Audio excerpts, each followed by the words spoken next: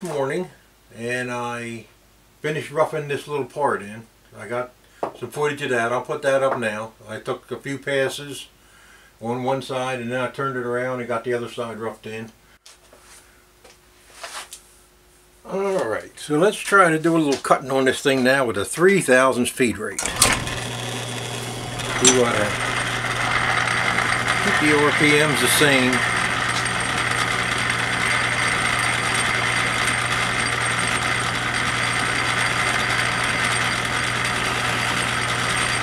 And then we'll go again.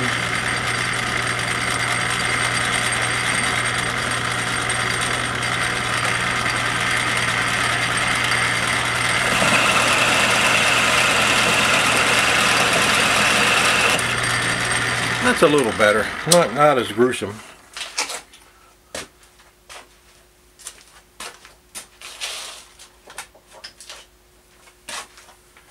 Okay, so I want to rough this to one half plus a 30 seconds. So I'll see where I'm at now on that. 635. So after this cut, I'm going to need about a 100.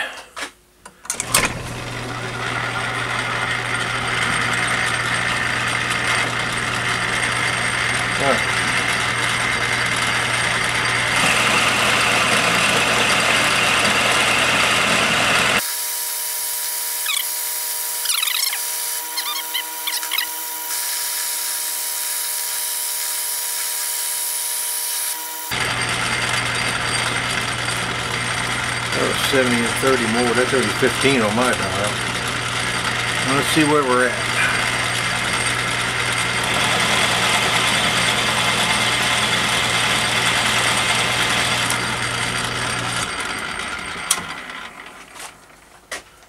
Okay, I'm going to rough this down to 500. So I'm going to see if I can let you see what's on my mic here.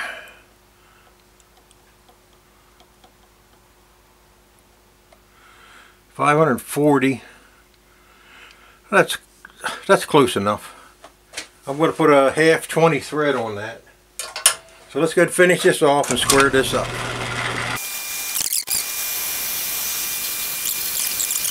Okay, so now this is uh, finished on one side, so we'll turn it around. Really care, but it's not bad. So I'll turn it around, wipe out the jaws, and get it in there.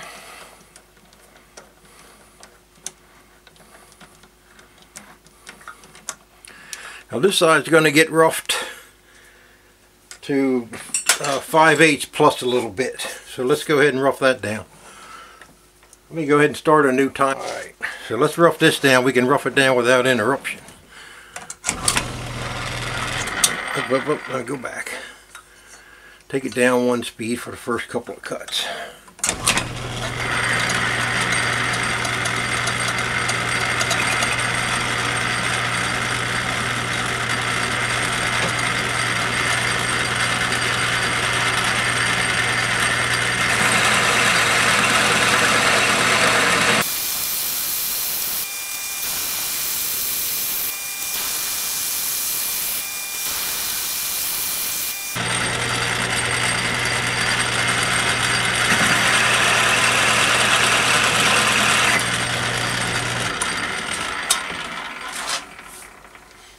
Okay, let's see where she's at. I want 625, maybe 650. I want 650 on this will be good. And right now we're at 645. 644, that's close enough. I want, it's going to finish at 625 and it's going to be cut into a hex. So let's just go ahead and rough this in.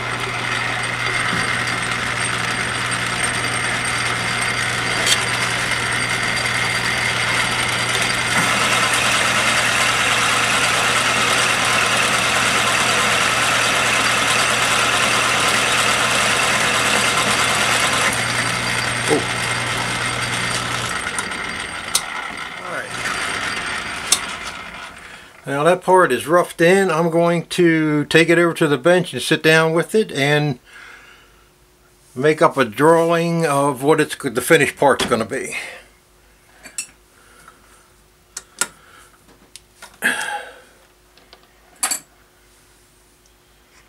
this uh, okay in, in order to cut with an end mill in the drill press you never want to put a you never want to put an end mill in the drill chuck that is in, in, the machine on a Morse taper without a, without some kind of a um, drawbar going on. And this machine can't have a drawbar because the spline goes up through the pulleys, so there's no way for it to have a drawbar. So I thought that this guy could be converted. It mounts on the spindle outer housing, and then the drill chuck comes down in here. I can put a, car, a let's just call a cartridge type bearing with its own uh, hole that I can mount a small end mill in. So even if it pulls down, this has a thrust bearing right here. I'll take this all apart and show you. Even if it were to pull the chuck out of the Morse taper, nothing could go anywhere. It would just stop spinning. Uh, I've got a, start with this piece here. This is a spindle. Now this I made for the lathe before I had my ER32 with a Morse 3 taper. Uh, I used to use this. This will hold a 3 8 end mill. It's got a set screw. I believe this is made out of A2 tool steel. So what I'll do is I made a brass bushing to go in here.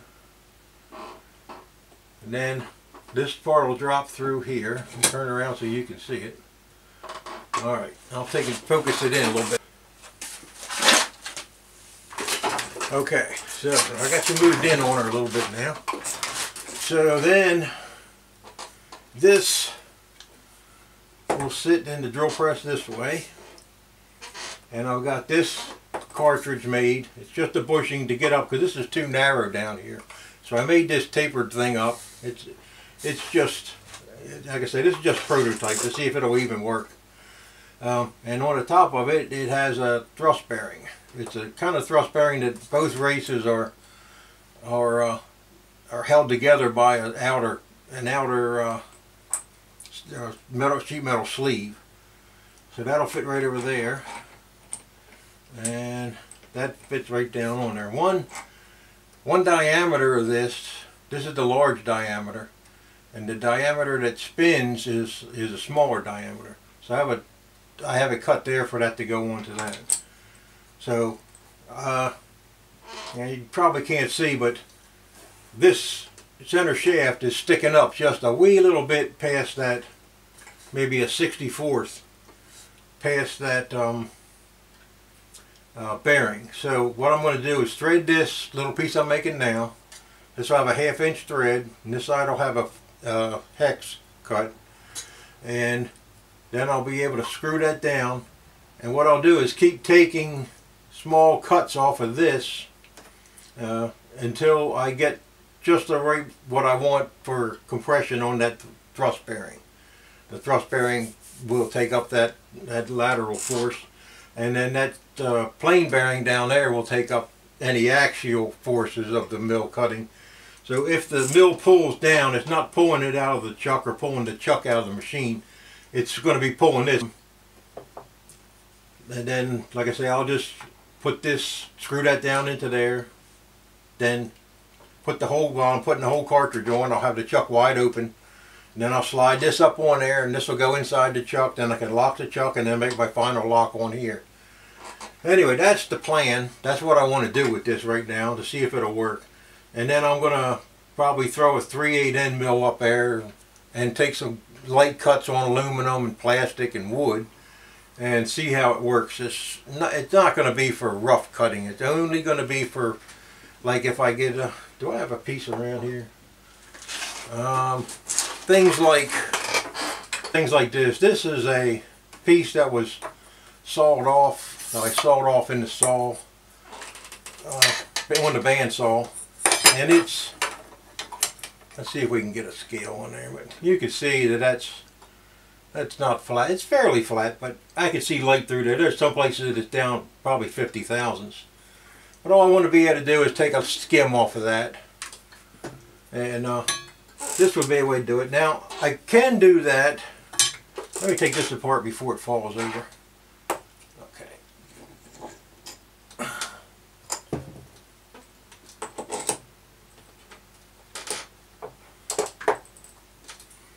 Now, I could do this in the lathe, in the Atlas lathe, in the milling uh, attachment. But with the milling attachment, you don't have a full six or seven inches, whatever this is.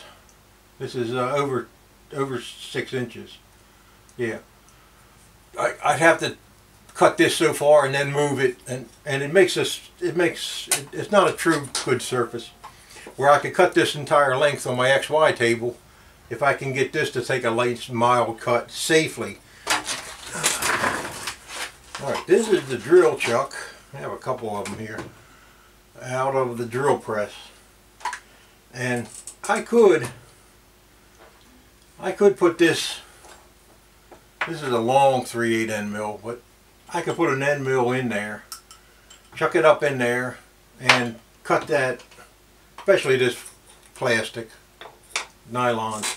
Um, but there's nothing to hold that up in there. If it comes loose, there's nothing to hold that in the chuck, and that would be two pounds, pound or two of steel flying at you with a razor sharp cutting edges on it, and that there's not there's no safe way to do it. You either have to have something like this that holds things in a collet and it has a drawbar that you screw in there. This is for the lathe. This screws into the lathe. But then this would get a nut on it and draw it up so it can't fall out of there.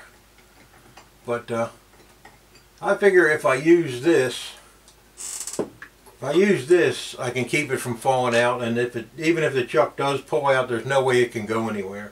This has a really tight grip on there.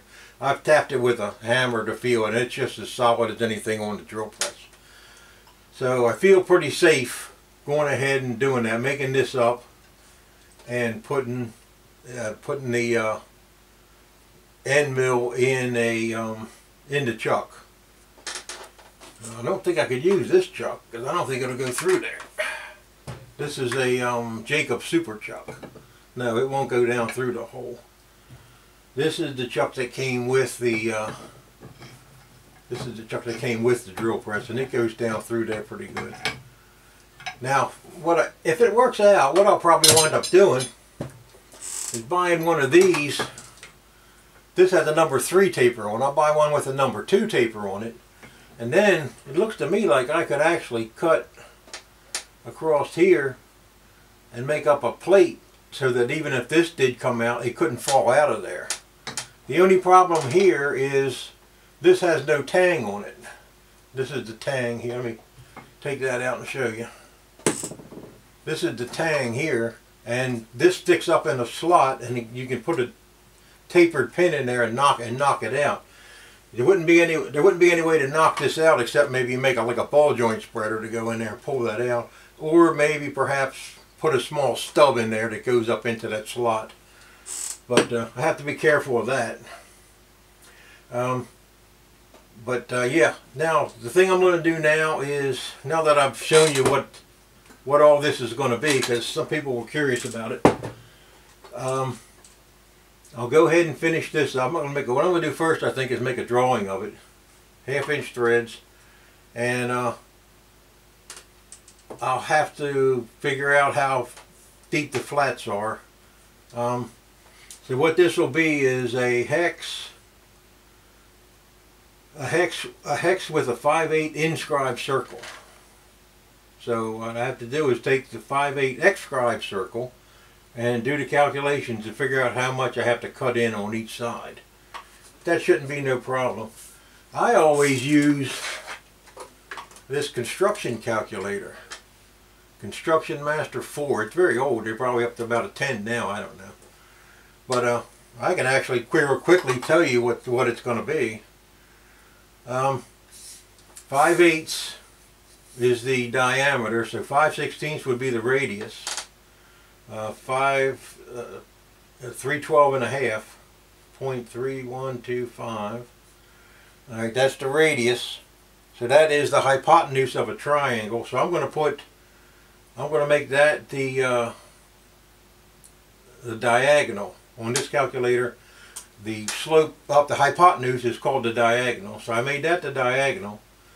And um, so now I know two things. I know that it's going to be 30 degrees, the angle will be 30 degrees because this is 60 degrees so it will be split in half be 30 degree angle so I could put 30 in for pitch but I also know that since it's going to be cut right in half if you take if you take a if you take uh, uh, the radius uh, the radius of this will always be six times around there so that would so that would be cut in half uh, so I could put that in there. So I'll take um, divided by 2.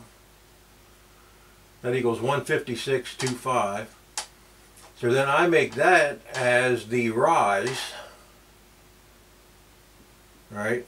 So now, I don't know if you can see this all or not, but when I hit pitch, I should say 30 degrees. And it does. It says 30 degrees.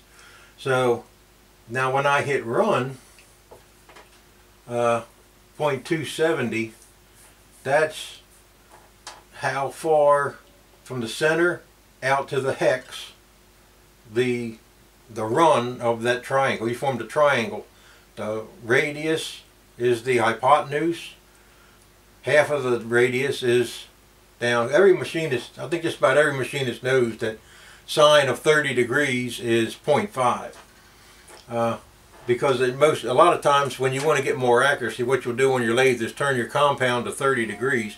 So as you're moving in you may take a thousands on your dial but the result of in towards the work is only half a thousand so you can double your accuracy that way.